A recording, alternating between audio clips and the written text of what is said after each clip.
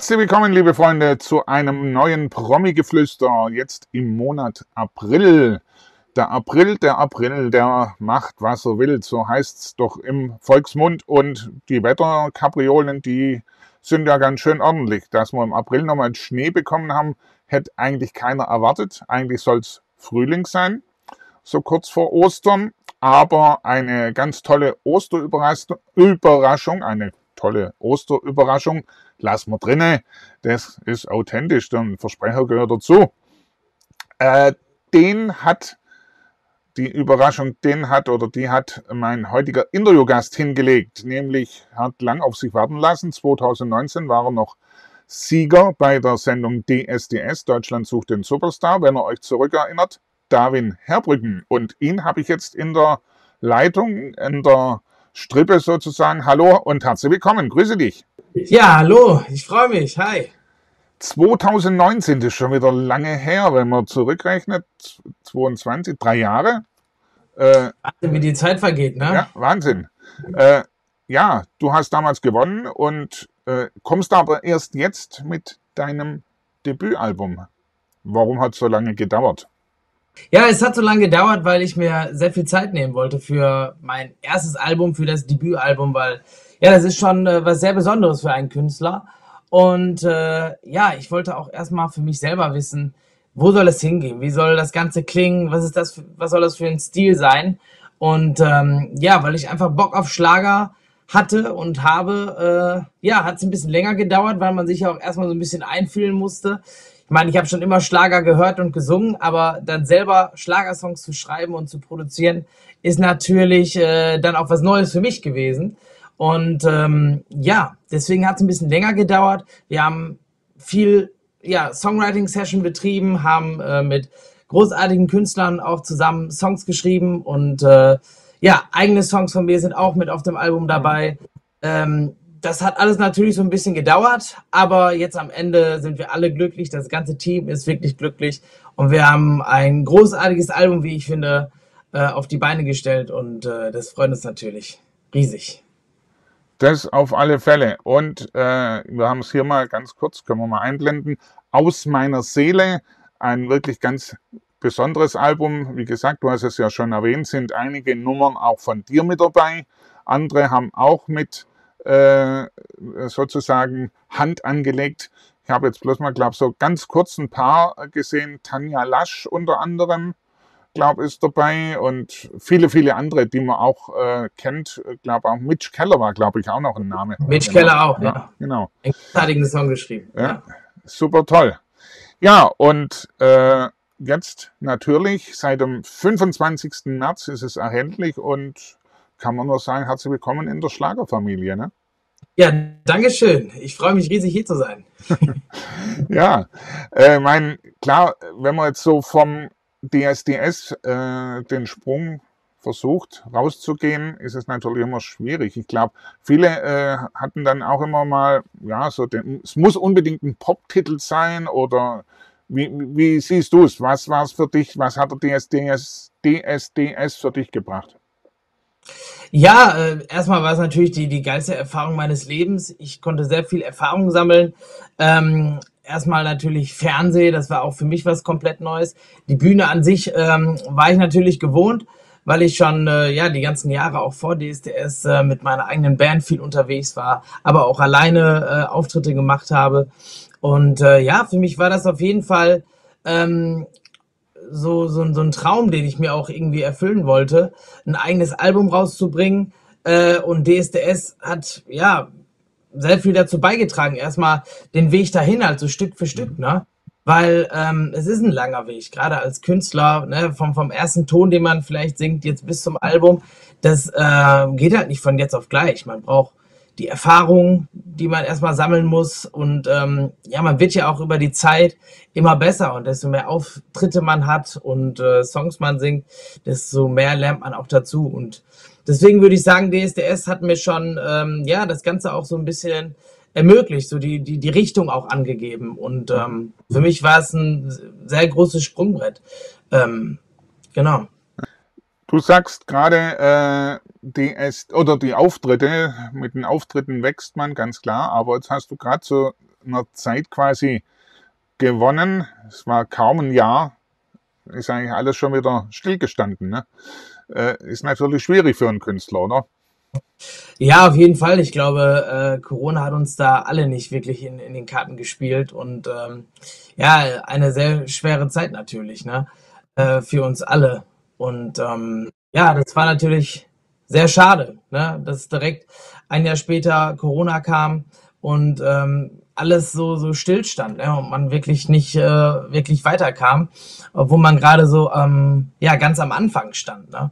Das war schon ähm, ja wirklich nicht so schön, aber ja, man muss positiv denken und äh, wir haben gedacht, wir setzen uns jetzt hin und wir machen das Album. Und das haben wir, dafür haben wir die Zeit auch genutzt und äh, ja. Mhm. Gute Sache. Also, wie gesagt, wenn man es wirklich so schön durchhört, sind tolle Nummern drauf. Was man natürlich ein bisschen auch auffällt, ist jetzt keine so eine spezielle Schlager-Mitklatschnummer dabei. Das jetzt wiederum weniger, ne?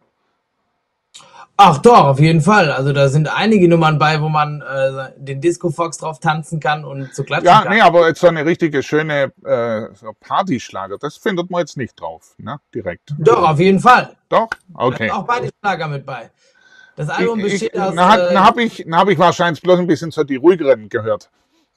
Ja, du bist eher der Balladentyp, wa? Genau. finde ich aber auch nicht schlecht. Ich, nee, also ich finde dann schon ganz gut, wenn man so eine kleine Abwechslung drauf hat. Das ist auf alle Fälle richtig, ne? Genau. Ja, also das Album ist wirklich ein, bunter Mix äh, voller Emotionen. Da sind wirklich Songs ja. bei, die ja die pure Lebensenergie ausstrahlen, äh, zum Tanzen und zum Partymachen anregen, aber auch ähm, ja Balladen-Songs, äh, die ja tiefgründige Geschichten erzählen ähm, ja, die, die herzerwärmend sind und äh, ja, vielen Menschen vielleicht auch Hoffnung schenken. Ja. Also da ist wirklich alles dabei. Und natürlich eine Nummer vom großen Meister darf nicht fehlen. Hier Midnight Lady, ja, die gehört auch dazu. Genau, Midnight Lady von Roland Kaiser haben wir neu aufgelegt. Genau. Und im Hintergrund stand ja da äh, hier auch Dieter Bohlen, ne? Von der Midnight Lady. Ja, genau. Ja, richtig. Ja. Ja, äh, dass jetzt hier Dieter Bohlen nicht mehr in der Jury ist, äh, wie hast ihn du kennengelernt? Findest du es schade? Findest du es gut? Oder hm? darfst du jetzt nichts Falsches sagen, ich weiß. Nein, also ich, ich sag da, sag da äh, ganz ehrlich zu. Also es ist äh, natürlich Dieters Show gewesen, klar, ne? Er äh, war von Anfang an dabei und ja, es war seine Sendung und ähm, jetzt natürlich gibt's ein komplett neues DSDS. Mhm. Und ähm, ich finde, das sollte man ganz neutral betrachten, weil es irgendwie, ja, quasi fast ein neues Format ist. Und Florian Silbereisen, finde ich, macht wirklich einen mega Job. Und äh, die anderen Jurymitglieder natürlich auch. Aber ich finde, äh, ja, die Sendung passt auch mega zum Florian. Und äh, er bringt da irgendwie so einen, so einen neuen äh, Touch irgendwie so rein. Und das gefällt mir total. Und das ist so, ja, sehr, sehr, sehr ehrlich. Und ähm, ja, auch die, die Künstler, die diese Staffel jetzt dabei sind, auch wirklich großartig. Ich verfolge das und ähm, ja, finde die neue Aufmachung wirklich ganz toll. Ist äh, sehr gut mhm. gelungen. Ja, da sind wir mal gespannt. Da geht es ja jetzt dann auch so langsam in die finale Phase, wer da äh, dieses Jahr sozusagen den, die Trophäe mit nach Hause nehmen darf. Ne? Ja. Ganz genau. Ja, ähm, für dich, was steht jetzt in der nahen Zukunft an? Ich denke mal, jetzt werden einige Promotion-Termine stattfinden, Fernsehsendungen. Wo kann man dich erleben und äh, auch sehen?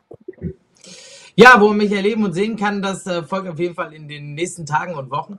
Wir äh, rollen da gerade alles Mögliche auf und äh, freuen uns wirklich sehr, unterwegs zu sein und das Album äh, live mit den Fans äh, ja, zusammen zu feiern auf, auf der Bühne und ähm, ja, haben da ganz tolle Ideen und ganz tolle Aktionen, die jetzt kommen. Und äh, da freuen wir uns natürlich drauf. Und mehr dazu äh, kommt dann in den nächsten Tagen und Wochen. Ja, da sind wir schon gespannt auf alle Fälle. Jetzt äh, weiß ich noch aus deiner äh, Zeit, aus der Staffel, äh, du hast auch ein, ja, sagen wir mal, ein gutes freundschaftliches Verhältnis gehabt oder vielleicht hast du es auch noch zu einem Kollegen hier aus meiner Region. Der kommt aus Rottweil, den Jonas, Jonas Weiser. Ja. Äh, was ist denn eigentlich aus dem geworden? Hast du da noch Kontakt? Ja, der Jonas ist natürlich äh, in den Pott gezogen. Ähm, hier bei uns äh, im Ruhrgebiet, in dem schönen Ruhrgebiet. Und äh, ja, das hat mich natürlich riesig gefreut. Äh, natürlich verläuft sich das alles so mit der Zeit. Jeder macht ja auch irgendwie dann so sein eigenes Ding. Ähm, aber ja, er ist jetzt hier in die Nähe gezogen und äh, wir sehen uns ab und zu und äh, hören was voneinander zwischendurch. Und ähm, ja, so macht jeder halt auch sein, sein eigenes Ding. Ne? Ich freue mich total. Ganz viele aus meiner Staffel ähm, ja, sind jetzt auch richtig musikalisch dabei und bringen geile Songs raus und sind unterwegs. Das freut mich natürlich. Und äh, wir müssen uns bald mal alle wiedersehen. Richtig, da gibt's eine große Party, eine große Sause, vor allen Dingen, wenn du dann hier mit deinem Schlager-Debütalbum dann auch mal äh, ein komplettes Konzert geben wirst, denke ich mal, da wird's dann eine Riesenfreude sein, oder? Ja, dann laden wir alle ein, dann machen wir zusammen Party, natürlich. und, und ich komme dann auch mal vorbei, nochmal, genau. Du bist natürlich herzlich eingeladen, das sowieso. Sehr gerne, sehr gerne. Apropos, äh, das war ja, ähm, wie gesagt, vor zwei Jahren, äh, drei Jahren warst du ja gleich Premiere Fernsehgarten. Und äh, da haben wir uns ja kennengelernt. Da stand ich damals hinter der Kamera. Das war für unseren Zweitkanal, der jetzt gerade allerdings ein bisschen ruht da äh, haben wir ja die Kendama-Kugel. Kennst du das noch? Hast du die noch? Das, das weiß ich noch. Ja, ich habe es, glaube ich, beim dritten oder vierten Versuch geschafft. Das weiß ich. Genau, noch. richtig. So ist es, genau. So ein bisschen Geschicklichkeitsspielchen oder so Sachen. Äh, liegt dir sowas? Magst du sowas gerne?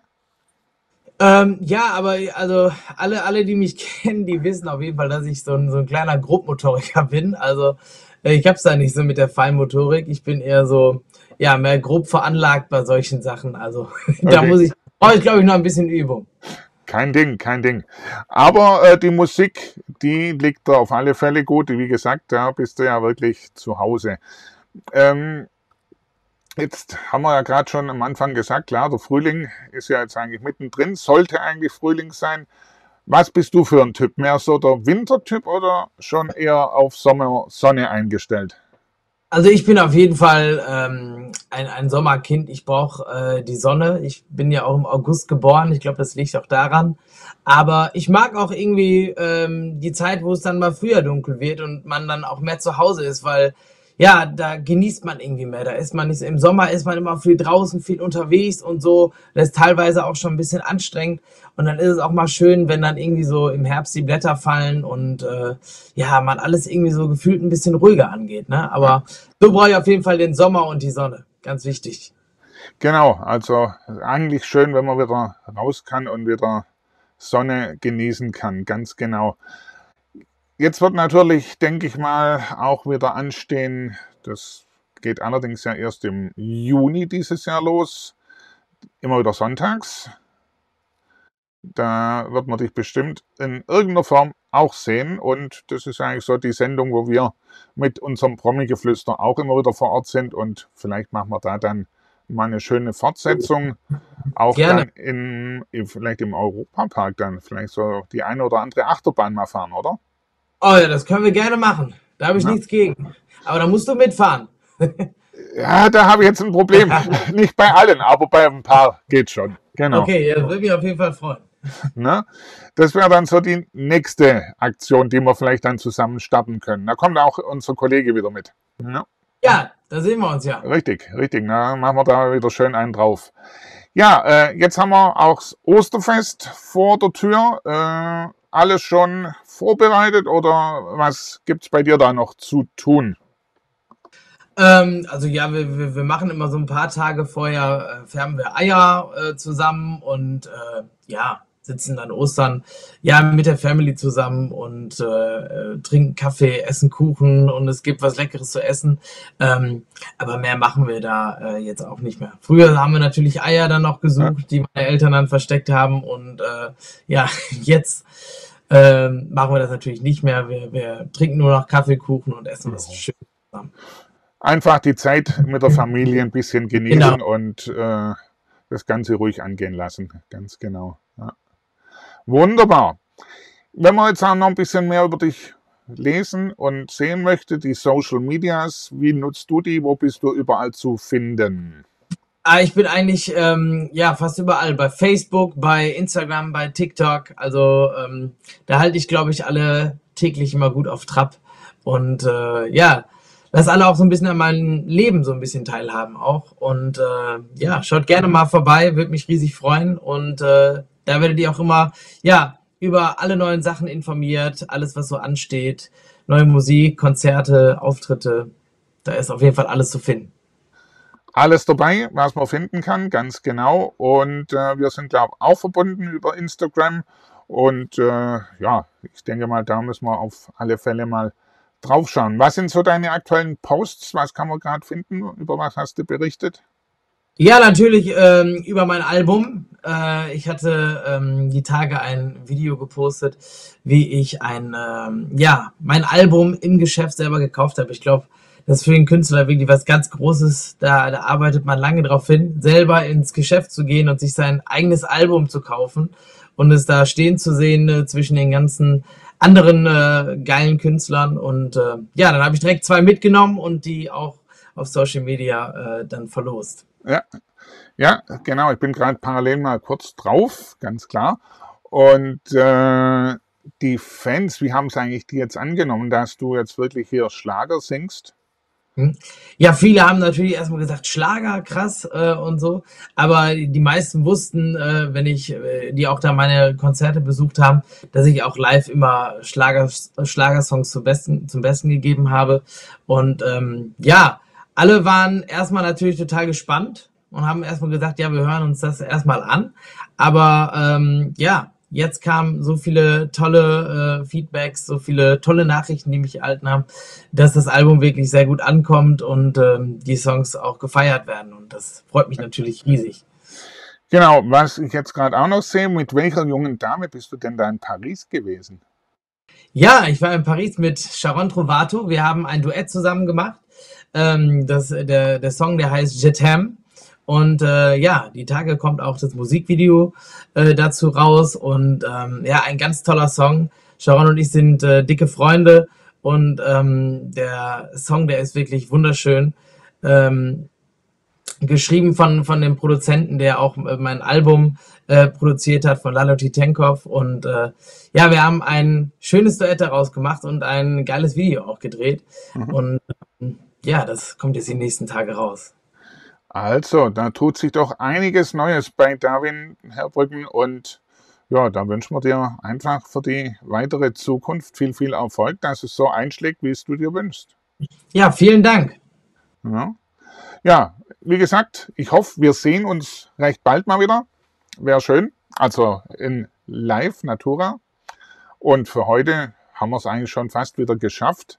Ich sage herzlichen Dank, dass du dir die Zeit genommen hast und äh, sage einfach mal bis zum nächsten Mal. Herzlichen ja. Dank und auch den Zuschauern herzlichen Dank fürs Zuschauen. Und zum Schluss darfst du jetzt die Worte an deine Fans richten.